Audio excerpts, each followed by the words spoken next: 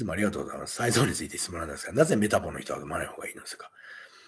そうだな、やっぱり糖質が 40g 入ってるので、メタボの、メタボというのはやっぱり体脂肪が多い人のことでしょ？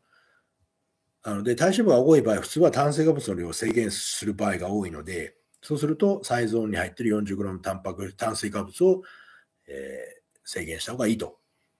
ただ別に、あの、炭水化物の量をある程度、あの、200g とか決めてあって、その中で 40g 取るっていうのであれば、俺はいいと思うけどね。もちろんトレーニングの強度とかにもよると思うけれども。